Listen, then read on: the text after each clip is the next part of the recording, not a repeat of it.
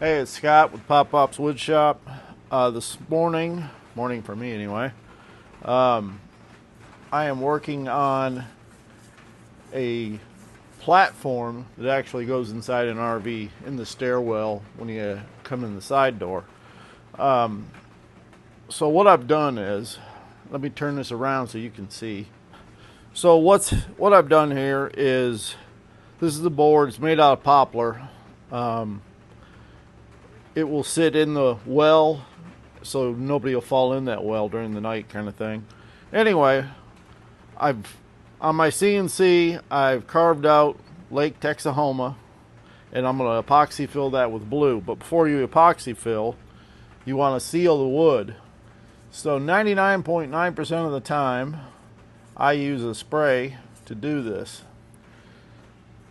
But the sheer honesty of it is the spray has gotten so expensive that uh, I, it's hard to justify that cost. And yeah, you can say, oh, pass that along to the customer, but that just means this is getting more expensive and it's getting more and more difficult. So, anyway, so what I've done is I have it in the can. It's a brushable, uh, deft sanding sealer. So, I'm putting that on, and I'm going to put a couple coats of it on and then uh, later today, when this is dried for at least a few hours, I will uh, epoxy fill all the lake with blue and the wording in black, and then uh, let it sit overnight. Come back in the morning and sand her down and begin finishing the project as far as the uh, lacquer and whatnot, because that's what I'm going to use on the top of it. It's lacquer. And I wholeheartedly love Deft products. I mean, they this dries extremely quick, does a very good job, sands out smooth, smooth, smooth. It's just, uh, you know, the stuff's darn near 20 bucks a can on Amazon. So you're like, Jesus, Jenny, that's. I got. I started using it very sparingly, to be honest. Now, when I do bowls, I finish them out with deft gloss, high gloss. a lot of fumes coming off of this. So, I don't know what I'm going to do when I start turning bowls again. For a finish, I have to come up with something because the lacquer's just gotten kind of stupid crazy. So anyway, out of this whole process, I'm going to brush this lake full, make sure I get the edges real well um, in the lake. Because if you don't, the epoxy liquid part of it will actually wick up in there and bring the color with it.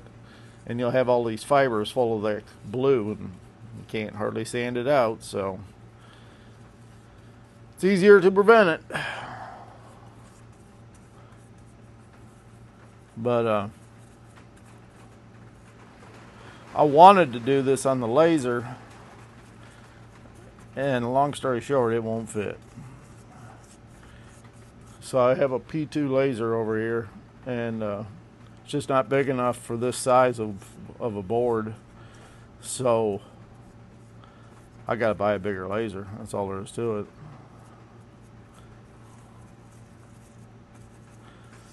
If you're going to continue this line of work. Uh, only been doing it forever.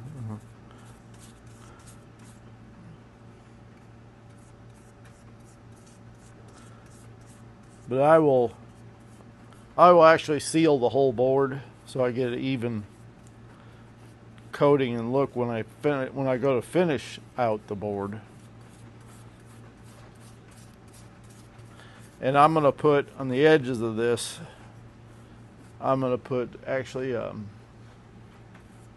breadboard ends on it, which I'll run a piece of walnut lengthwise here, attach it to the end, and uh, hopefully I'll get that done today.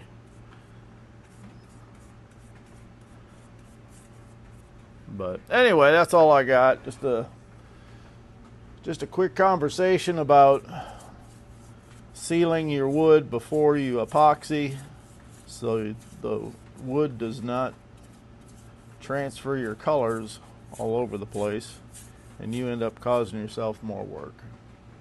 All right, till next time.